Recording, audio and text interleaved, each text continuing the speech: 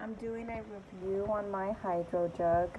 Um, first of all, I love it. I just, it's cute. The sleeves, you can um, order different ones. The carrier, another one of my favorite parts. Everything about this is my favorite.